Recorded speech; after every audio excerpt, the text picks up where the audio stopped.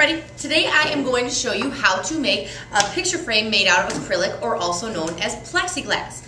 Alright, first you'll need to do is get the container that we have um, up in the front of the classroom and the directions are located on the inside lid or in the shelf in the front of the classroom if you, you know, want to have your own directions.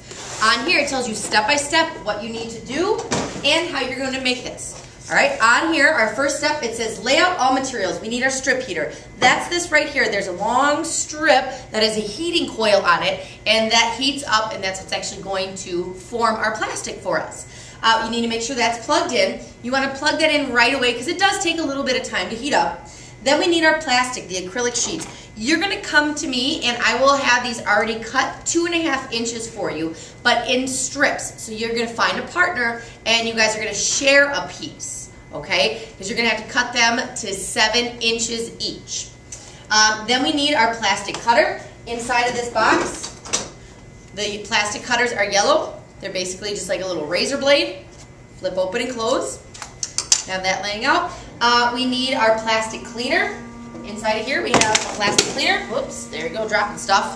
All right, we have our plastic cleaner. This is basically just cheap Windex. Got it from the dollar store. All right, need some paper towel with that because if we spray down, we need to be able to clean it off. All right, and then we need our edge scraper.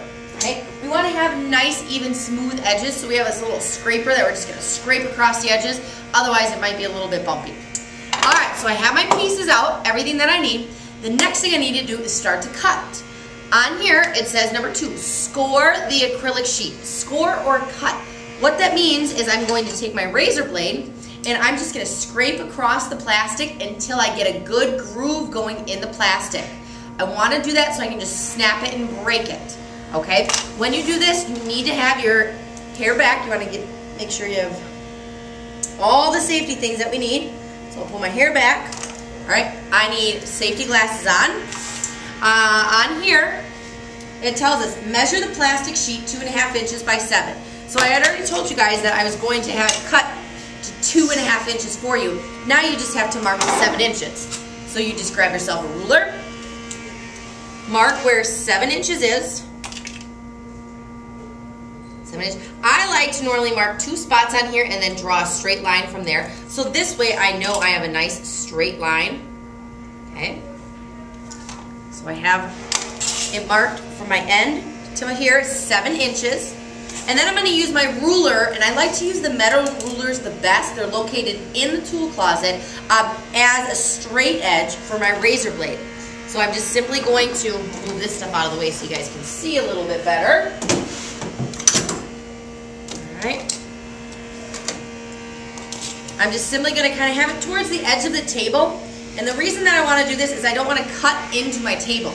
I'm going to have my ruler as my straight edge, and then I'm simply just going to very lightly scroll it across, and you'll start to hear a nice little scratch in there, a little scratch sound, and then you just simply bring it towards you. Now notice my body is not in the way, my fingers are out of the way, and I'm just going to take this back and forth and simply cut, cut, cut, scratching it, which is also cutting it. All right. Once you have a groove deep enough, you should be able to just take this on the edge of the table, and if you did it enough, you can just snap it, and it'll break in half for you. Okay? So now that I have this broken in half, I want to move to my next step, where it says we scored our acrylic. We did that. It says put on the edge of the table and break. We did that scrap edges if needed, uh, or scrape edges if needed with the blue. So I'm going to go ahead, peel off my protective coating that I have on my plexiglass. Alright. If my edges need to be scraped at all, I'm just simply going to take, and I'm going to use the middle one. You can use any of the grooves that you want. I find the middle one to work the best. I'm just going to scrape my edges so they're not so sharp. And make sure you use all four of your edges. You want to go around all four of your edges. Some edges might take a little bit longer than others. All right. Go ahead, scrape it all off. Now that I did that, I kind of have some impurities and some fingerprints on here. I want to clean it off. That's where my cleaner is going to come into play. I have this right here. And I'm simply just going to grab a little bit of paper towel. All right. open up my cheap Windex. I'm going to spray it on the paper towel. You can spray it right on your plexiglass if you want to, but I just find it, you know, it clears and dries a lot easier if I just do it on the paper towel. Okay, notice my hands are to the side so I'm not getting fingerprints on them. Once I'm done with that, I want to find the center. I'm down to step number three now. It says find the center of your plastic, which is seven inches. So half of seven is three and a half. So I find three and a half inches and I'm going to take it I'm going to place it on here. Here's another little trick if you're watching this video. You'll notice that if you cut it to the right length, it should be the exact width of my strip heater. So I just want to go ahead and place it on, on there. Now, you're going to want to keep this on the strip heater for about two minutes or until soft. That's what it says on here. When we remove it, we want to fold it really quickly so that um, when it cools down, that the plastic hardens that way. When I do that, a book or your assignment notebook or something to help push down on the plastic so you don't burn your hand is what you want to use. Um, takes a couple minutes, like I said. So this is a great time to start cleaning up putting your tools away that you don't need to use anymore. All right, so put that stuff away. I have a little, you know, just pad of paper I'm gonna push down on. Now, some people, if there's plastic left over, where did I put that plastic? I set it somewhere. Anyways, with your plastic that you're sharing with a partner, actually I think it fell on the floor, it did. If there's only a little tiny bit that needs to be broken off, you wanna use a vice grip. Okay, this is a vice grip. And we can actually take this, once you score your line, you can put this right on here and then just snap it and it should come right off. But it's not going to come off unless you have a nice score or a nice cut into the plastic. All right, so get this stuff out of our way as we're cleaning up. Put everything away. Now I'm going to take a look at my plastic and you can notice, look at that, I'm able to fold it all the way over. With the other plastic, I wouldn't be able to do that. All right, so now I know that this is ready. I'm just going to take my plastic, I'm going to fold it up and over like this. I want to line up my top and my edges. I have about 15 to 20 seconds before this starts to harden. All right, so I just line everything up, put it on the edge of the table. Excuse me. I'm going to take my pad or, uh, you know, like I said, a book, an assignment notebook, and I'm just to push down on the edge of here. I'm to hold it here for just a few seconds. I don't want to push down as hard as I can because I don't I want to have there a little bit of like a loop at the bottom of my picture frame.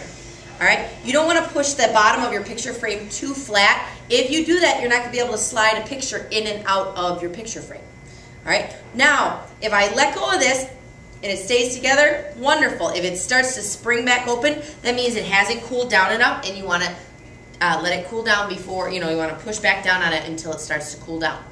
All right, uh, final touches. You have the choice to either paint it using paint markers or the laser. Um, if you're going to use the laser, let me know. I can show you how to use that. Um, or the paint markers are inside of our container here.